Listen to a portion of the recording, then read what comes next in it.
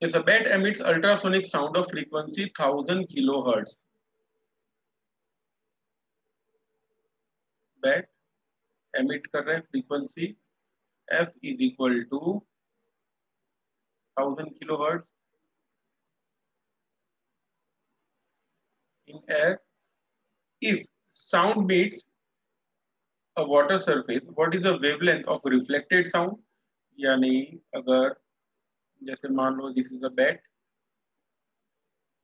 ऐसे ही बना रहा हूँ, ठीक है? दिस अ बेड और बेड कुछ साउंड एमिट करता है। जो वाटर के साथ टकराता है दिस सपोज़ वाटर इसने जो साउंड एमिट किया, ठीक है? ये वाटर के साथ टकराता है। देखो वाटर के साथ टकराने के बाद दो चीज़ें होगी। एक होगा वो साउंड रिफ्लेक्ट होके जाएगा इस डिरेक्शन में और थोड़ा बहुत साउंड वाटर के अंदर भी जाएगा, ठीक है? साउंड थोड़ा बहुत वाटर के अंदर भी जाएगा और थोड़ा बहुत रिफ्लेक्ट होके बाहर भी आएगा। तो हमको फाइंड करना है reflected sound okay reflected sound यानी ये वाला sound and transmitted sound transmitted यानी जो अंदर ट्रांसमिट हो रहा है, उसकी बात चल रही है, ठीक है? वो दोनों की वेवलेंथ क्या होगी, ये हमको फाइंड करना है। What is the wavelength okay wavelength हमको दोनों की फाइंड करनी है। Speed of sound in air दिया हुआ है speed of sound in water भी दिया हुआ है। सबसे पहले क्वेश्चन समझ में आ गया क्या है? ओके okay, बैट ने अल्ट्रासोनिक साउंड जनरेट किया और साउंड वाटर के साथ टकराया। टकराने के बाद वो रिफ्लेक्ट हो रहा है। रिफ्लेक्टेड वेव का वेवलेंथ और ट्रांसमिटेड साउंड का वेवलेंथ दोनों का वेवलेंथ हमको फाइंड करना है। तो चलो बी दिया हुआ है एयर के लिए। 340 मीटर पर सेकेंड बी दिया हुआ है वाटर के लिए 1486 मीटर पर सेकेंड ये ध्यान देना किलो हर्ट्स का मीनिंग क्या होगा? थाउज़ेंड किलो यानी ten is to three hertz यानी ten is to six hertz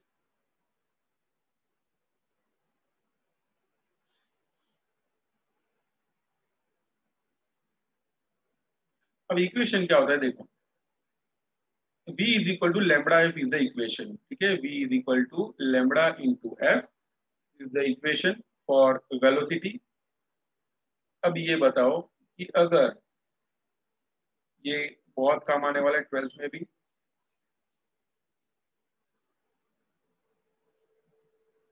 this is water और एनी अदर मीडियम साउंड हो या लाइट हो या कुछ भी हो।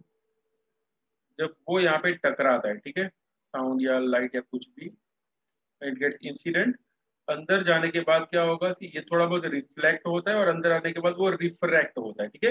रिफ्लेक्शन और रिफ्रैक्शन एंड रिफ्लेक्शन दोनों चीज़ें होती है। जो ट्रांसमिट हुआ अंदर, उसका रिफ्रैक्शन होगा, बाहर आया वो उसका रिफ्लेक्शन होगा, वो आप लोगों को पता होगा। नाउ अगर यहाँ पे वेलोसिटी है v तो वेलोसिटी यहाँ पे अगर if it is v1 and v2 if it is v1 and v2 यहाँ पे वेवलेंथ है लैम्बडा वन यहाँ पे वेवलेंथ है लैम्बडा टू यहाँ पे फ्रीक्वेंसी है एफ़ वन यहाँ पे फ्रीक्वेंसी है एफ़ टू इसका रिफ्लेक्टिव इंडेक्स एन वन इसका रिफ्लेक्टिव इंडेक्स एन टू इसकी डेंसिटी रो वन इसकी डेंसिटी रो टू ठीक है? सब कुछ यहाँ पे अलग अलग होगा बट इन पाँच में से एक चीज़ ऐसी है जो हमेशा कांस्टेंट रहेगी। बाहर हो या अंदर हो मतलब पाँच में से क्या लग रहा है, क्या कांस्टेंट होगा? Velocity wavelength frequency refractive index या डेंसिटी क्या चीज़ कांस्टेंट रहेगी? पानी के अंदर जाओ या पानी के बाहर जाओ या कोई भी मीडियम में जाओ, एक चीज़ जो है वो हमेशा कांस्टेंट रहती है। बताओ, कौन सी चीज़ है वो?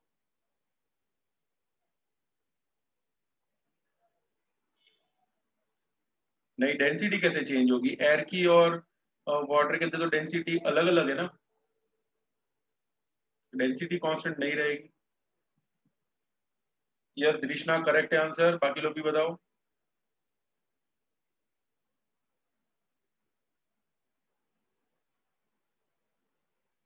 डेंसिटी मैंने मीडियम की लिखी हुई है। साउंड वेव का कोई डेंसिटी ऐसा नहीं होता है। वेलोसिटी अगर कांस्टेंट होती तो क्वेश्चन में ऐसा देते ही नहीं ना साउंड इन एयर का वेलोसिटी इतना sound velocity speed of sound in air इतना है। And speed of sound in water इतना अलग देते ही नहीं। तो स्पीड तो सेम है ही नहीं। चलो डिसाइड हो ही गया। स्पीड सेम नहीं है। डेंसिटी भी सेम नहीं है। लाइट जो है, वो थोड़ी रिफ्लेक्ट हो जाती तो ये भी सेम नहीं है। Yes yes. दो ही चीज़ बची है। अब फिफ्टी फिफ्टी हो गए सब लोग। कुछ लोग फ्रीक्वेंसी बता रहे, कुछ लोग वेवलेंथ बता रहे। तो याद रखना फ्रीक्वेंसी हमेशा सेम रहेगी। Okay frequency will remain same तो मीडियम चेंज हो जाए या कुछ भी चेंज करो फ्रीक्वेंसी कभी भी चेंज नहीं होगी। ठीक है? Frequency will not change with the change in medium ये दिमाग, ये छोटे दिमाग में रख देना। बिकॉज़ ट्वेल्थ में बहुत बार ये चीज़ आने वाली है। ओके तो हमेशा के लिए याद रखना with the change in medium frequency will not change frequency will remain same बिल्कुल भी चेंज नहीं होती है।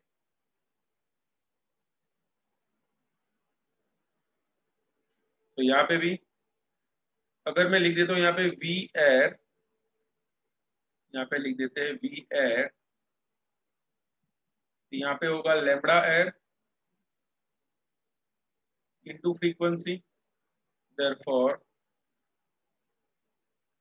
lambda air के लिए कितना होगा? It will be v air by frequency velocity in air कितना है it is 340 by 10 is to 6 यानी आंसर हो जाएगा 340 into 10 is to minus 6 metre ये एक आंसर आया ठीक है ये कौन सी वेव थी for reflected wave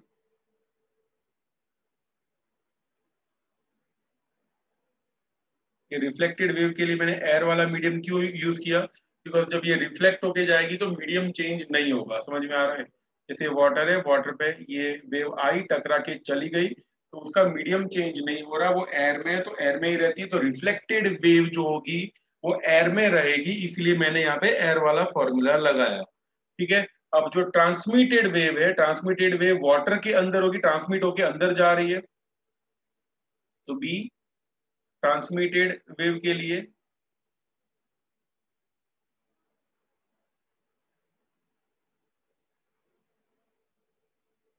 transmitted wave के लिए फिर से V water is equal to lambda water into frequency for lambda water will be equal to V water by frequency V water is 1486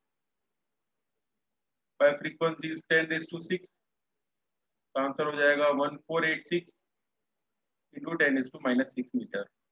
ये अपना आंसर है। ठीक है? ले लो स्क्रीनशॉट।